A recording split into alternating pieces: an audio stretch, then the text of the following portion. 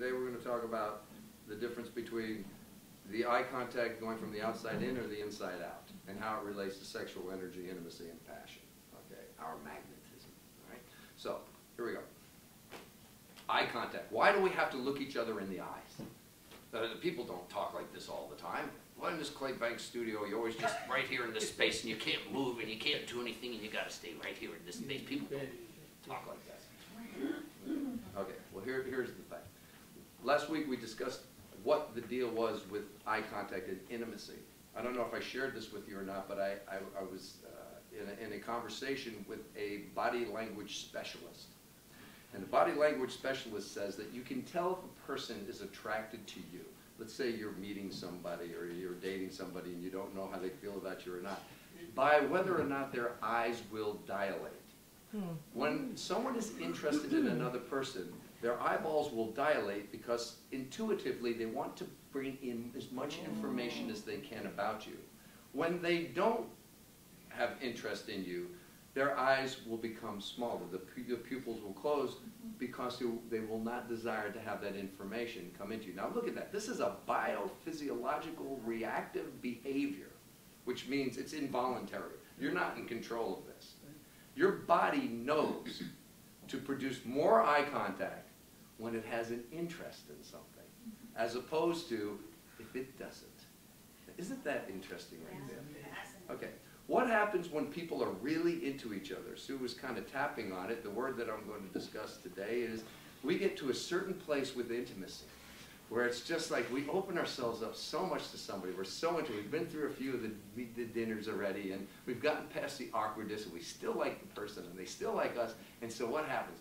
We go to the gaze. and you're just gazing. And so here I am. I'm yours. Here I am, I'm yours. And you're just in this gaze. It like transcends eye contact to a whole nother level. But what happens when you get with that person, you've spent time with them, and they start to piss you off or upset you, and you get into a big argument with them that just is a, a downright brawl. I don't want anything to do with you. Yeah. You clothes off. Speak to the hand. Get out of my sight.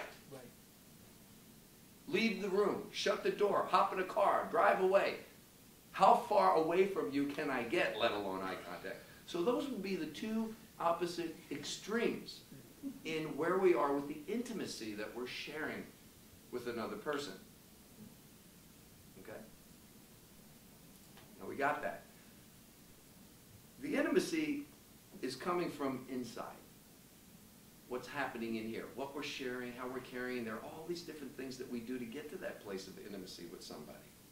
Real intimacy with somebody has to arrive over time by unfolding and pulling back and learning and information and unfolding and pulling back. Well, we're professionals in this industry. We have to get intimate with somebody very quick and do something that isn't that natural.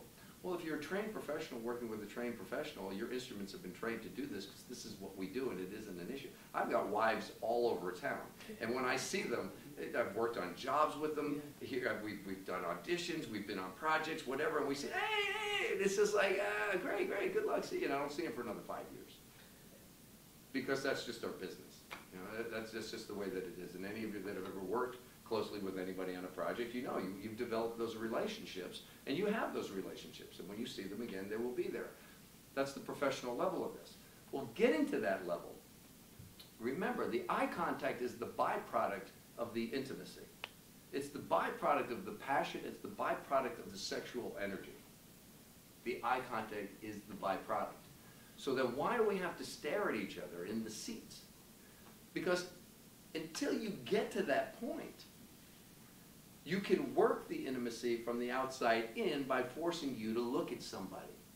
So you're not intimate with this person, you're dodging them, you're over here, you're over here. Look at them. Okay, I'm looking at them. What's in their eyes? Well, I got to look deeper. Become an emotional investigator. Sadness, happiness, anger, fear, love.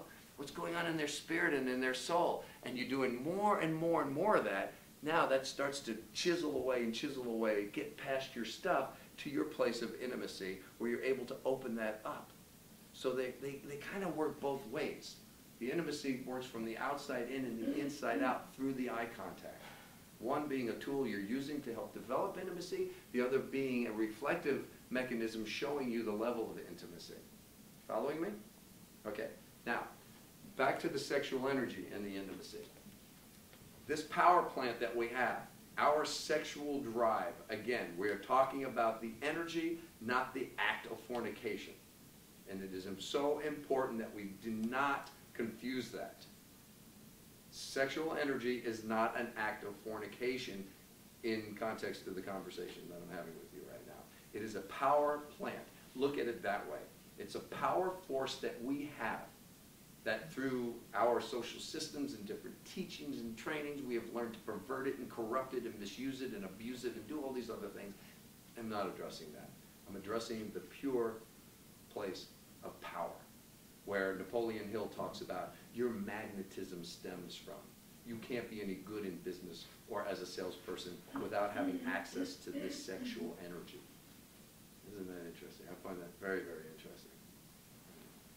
Okay, so we're opening up this can of worms. This week, your assignment is going to be even more interesting. So this can of worms now is your sexuality and how it equates to your intimacy and how it equates to your passion. Like JR just shared with us, that information gives us power. I'm talking to you consciously and subconsciously about this place to exploit this holy ground of ooh, my sexual energy, that place of sex that many people have buried up and have it in a box, or other people have it out there spread all over the place, whatever. If it's in a box, it's like somebody giving you an amazing gift that's just left in its packaging for so long that eventually whatever's in there isn't any good. You ever do that? You ever get something you value so much you just hide it away? Mm. You find it years later and it's no good because it dry rotted or something? Have you ever had that happen? Okay. Nice piece of chocolate happens to me all the time. I'll get some really good chocolate and I'll put it in the back of the drawer and I get to it like, you know, months later and it's got the white stuff on it and everything. It's like, oh man. I saved a bottle of wine. It was so cool. I say I carried this bottle of wine with me for like three moves and, and then eventually it fell off the shelf and broke. I literally put my put my hand on the floor and was putting it on my ten feet to taste it. I can't believe it. you know what they say, use it or lose it, right? Right. Um, that's what happens to some people's sexual energy. It gets boxed up and stuck in a corner to the point where even when it comes out, it doesn't even function. you know? A healthy sexual energy is not perverse. We're not talking about being overly promiscuous. We're not discussing you being raunchy. We're talking about having a healthy sexual energy and a healthy sexual drive that's kept in order where it's not now manifesting into something else. I'm talking about this being part of your arsenal of tools as an, as, as an artisan, an actor. We need that. You have to have that. And you can't be afraid of it. Sometimes we look at it like that science project in the back of the refrigerator. You ever have that experience? I just got rid of a few of those today. Yeah. It's that brown bag in the back corner recesses of the refrigerator, and it's just in there, and it's in there, and it's in there, and at some point you go, crap, what's in there? And you don't even want to open it, because if you, you know, you don't want to open it because you know that mold crap's going to Yeah. jump on you or whatever, so you just like, God, you just throw it away. Yeah, you guys with me on this? You put it in the container, yeah. Well, sometimes we don't want to tap into these areas within ourselves because we're afraid that if we do, we don't know what's in there and what's going to jump out. So we just leave it in the back of the fridge, if you will. It's not going to help you. You got to open it, you got to let it stink, you got to look at the ugliness of it, whatever it is, and it might not even be that bad. But whatever it is, you've got to open it up, you got to let it out and start dealing with it and get it to the point where it can be resuscitated and it can function in a healthy manner.